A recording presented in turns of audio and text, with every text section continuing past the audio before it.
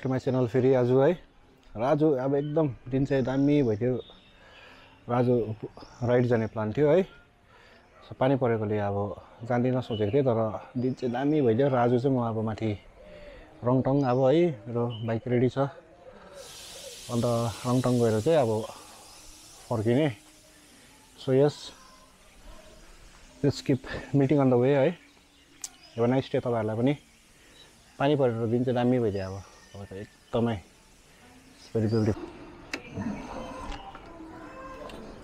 लु म अब निस्किसकेको छु है घरदेखि बाटो चाहिँ अब त्यही हो पानी पानी फेरि रातभरि अघिसम्म पर्दैछ पानी कन्टिन्यू अब हजुर very much thankful to god है फर द लभली डे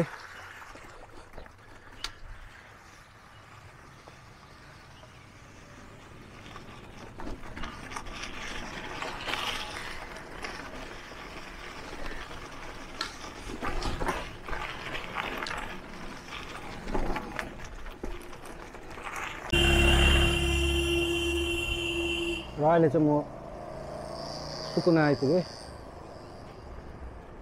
आज चाहिँ म उता नगएर यता रङटङपट्टि आएको छु है र एक्ज्याक्टली रेलवे स्टेसनकै छेउमा Darjeeling Himalayan railway thank you for visiting है and thank you lord for the wonderful day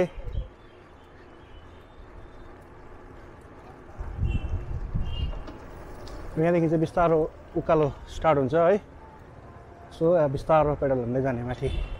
हुन्छ अलिक माथि भेट्छु तपाईँहरूलाई है। र बिस्तारो उकालो सुरु भइसकेको छ हो। अब उकालो नकुदाएको चाहिँ झन्डै निकै भएको थियो एक वर्ष बेसी भएको थियो। सो आज उकालो पनि हल्का स्टार्ट हुँदैछ। र मलाई पनि हल्का साह्रो पर्दैछ।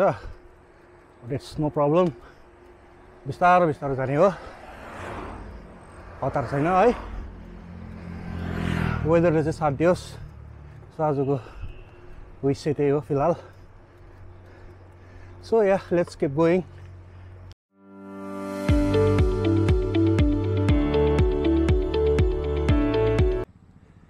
राम्रो निकै साह्रो पऱ्यो दुई किलोमिटर अप सो अझै यहाँदेखि पाँच किलोमिटर छ। र एकछिन सर्ट ब्रेक र है डिफिकल्ट उकालो अब फर्स्ट पार्ट रङटङको त्यो अलमोस्ट सक्यो। अब यहाँ परदेखि एकछिन आराम छ। र approx three point five kilometre सुकुनाबाट माथि आइसकेको छु है। उकालो चाहिँ अलिकति साह्रै पऱ्यो र कुदाउँदै बोल्नु पनि साह्रै पऱ्यो है। सो यहाँ एकछिन बसेर अब एकछिन ब्रेक गर्ने।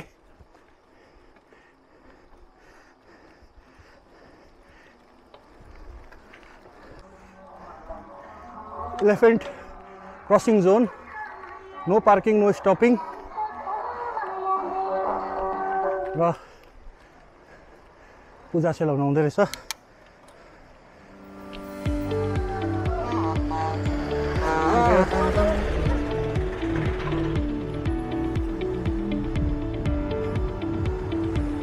निकै साह्रो पऱ्यो अझै अब रङटङ तिन किलोमिटर।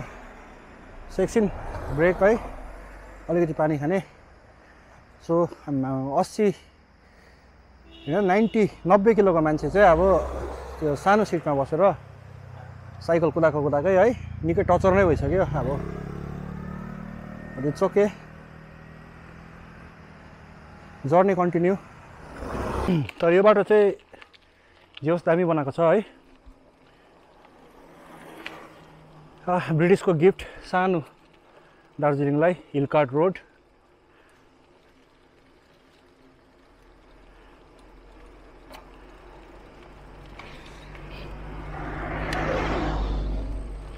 अब यहाँबाट बिस्तारो फेरि उकालै उकालो तिन किलोमिटर।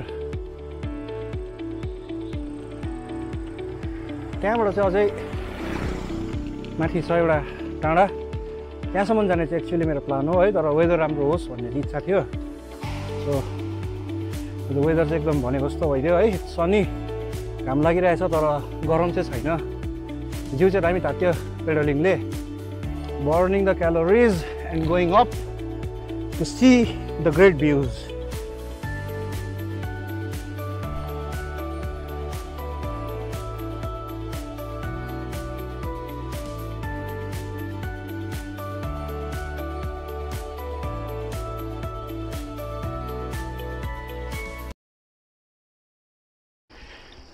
लाइफमा सबभन्दा इम्पोर्टेन्ट चाहिँ फिटनेस नै हो है र मलाई पनि फिल भएको छ कि फिटनेस रहेछ नै रहेछ भनेर। सो भ्युवर्सहरूलाई चाहिँ त्यही भन्न चाहन्छु है। स्टे फिट कसरी हुन्छ? Hiking biking gym but try to stay fit है इट्स भेरी इम्पोर्टेन्ट र पाहाडहरू छेउमै देख्दा चाहिँ आज मलाई एकदमै खुसी लाग्यो। कति महिना बाद पाहाडको मुनि मुनि आएको है। इट्स अ नाइस डे र पुग्न आँट्यो अब रङटङ। दुई किलोमिटर जस्तो छ है उकालो। टाइमिङ राम्रो छ दिन दामी भएको छ। So I'm very much thankful. र यो अब यतापट्टि यो आज लास्ट हो भ्लग है। भोलि इस्लामपुर जाने हो। त्यहाँदेखि चाहिँ फेरि मेरो डोमेस्टिक एडभेन्चर स्टार्ट हुन्छ। र त्यहाँ चाहिँ अब यस्तो मजा मजाको जग्गाहरू छैन राइड गर्नुको लागि। तर पनि अब नेचर हो है। काहीँ न काहीँ केही न केही त राम्रो हुन्छ। So I try to make some vlogs over there as well है।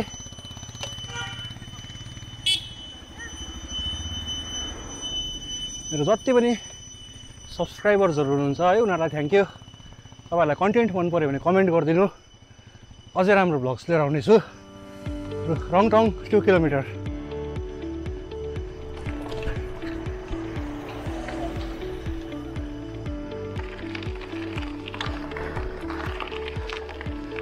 रमलु रङटङको छेउमै आइपुगेँ स्टेसनको छेउमा छु है टु थ्री हन्ड्रेड मिटर होला ओभरै मजा आयो आजको राइड चाहिँ आज मलाई वेदरले चाहिँ अब दामी साथ दियो सो माथि पुगेर भ्यू चाहिँ अब आज कस्तो हुने हो है ओके के बोय फाइनली रङटङ आइपुगेको छु। यहाँदेखि स्टेसन चाहिँ अब यहाँ अलिकति माथि हो है। म अलिकति माथि गएर राइट फ्रन्ट लिने हो र एकछिन चाहिँ ब्रेक गर्ने हो। So this is Rangtang.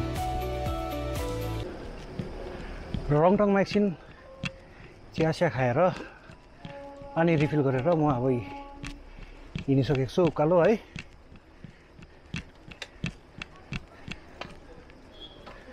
So दुई अढाई किलोमिटर होला उकालो साह्रै छ। र बेला बेला हिँड्नु पऱ्यो भने हिँड्ने हो। तर मात्रै डाँडामा चाहिँ पुग्ने नै हो। So this way is to Shiv Khola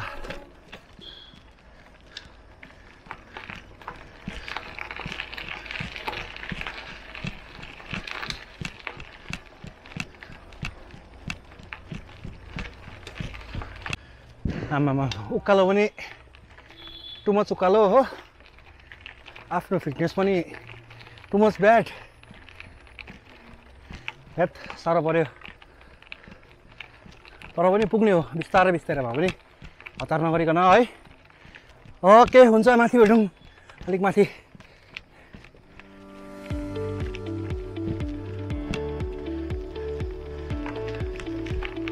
हत्तु भयो है। निकै माथि आइपुगेको छु अब यी उकालो त आमा फिला चाहिँ अब छैन जस्तो भइरहेको छ सो अब एक गोलाइ दुई गोलाइ माथि चाहिँ मेरो डेस्टिनेसन हो है so time is good sunset हुन आँटेको छ सो सनसेट अगाडि नै पुग्छु भन्ने चाहिँ अब मलाई आशा छ है सो मजा आयो अब यो आजको राइड चाहिँ है ल आजको लास्ट क्लाइम्ब हो यो चाहिँ आम्मा पिला पोल्यो है ढाड दुख्यो तर म आइपुगेँ so final climb up to the hill yes अब चाहिँ म क्लाइम्ब है ऊ परसम्म जान्छु र यो डाँडालाई चाहिँ तपाईँको चाप नम्बर चाप डाँडा भन्दो रहेछ पहिला यहाँ चापको रुख थियो अरे यो सिपाहीधुरा टी गार्डनमा पर्दो रहेछ सो फाइनली माई डेस्टिनेसन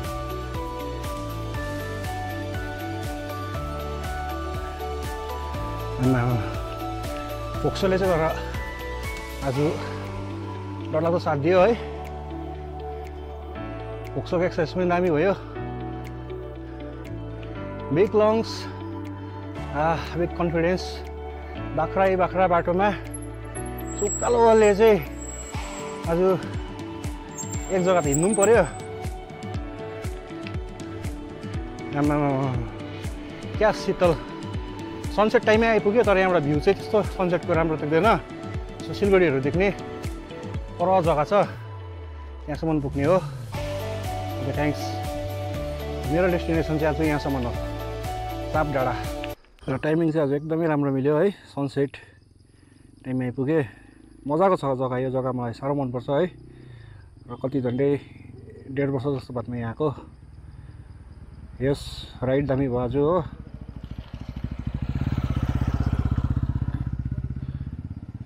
आजको राइडको लागि चाहिँ अब I'm very much thankful to god है for the beautiful weather and to my wife है। अब आज एक्चुली हामी यहाँबाट इस्लामपुर जानु पर्थ्यो तर मैले भने आज लास्ट एक दिन राइड जान्छु है। भ्लग बनाउँछु भन्दा सी सेट ओके सो मेरो वाइफ एन्ज एन्जलिनालाई चाहिँ आजको लागि एकदमै हृदयदेखिको धन्यवाद दिन चाहन्छु है। र गडलाई पनि आज एकदम अनएक्सपेक्टेड वेदर है। यस्तो दिन दामी हुन्छ भनेर सोचेको थिइनँ। सो मजा आयो। यहाँबाट हामीले चाहिँ अब मजा मजाको भ्युजहरू देख्छ।